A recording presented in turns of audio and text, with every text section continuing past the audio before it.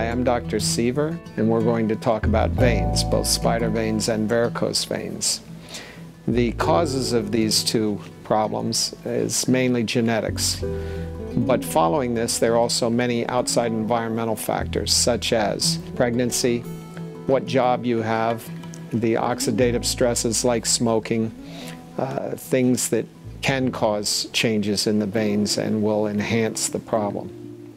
Spider veins can be treated by injection sclerotherapy. Now, the word sclerotherapy just means scarring treatment.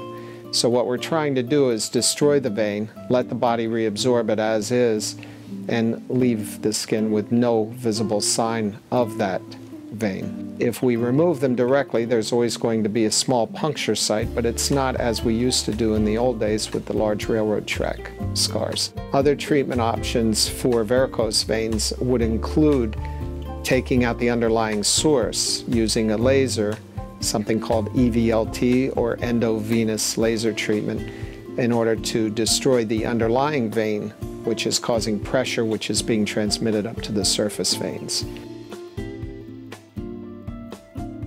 When you go online and you Google these, what we call keywords, you will be brought to pages of different people, and uh, either they're clinics such as mine or others.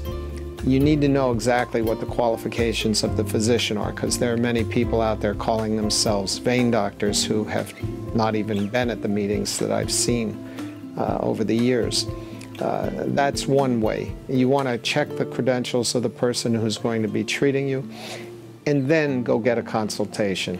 And you may want more than one consultation. If you don't feel that the connection is right with the first, go get a second. They're usually free or very low cost.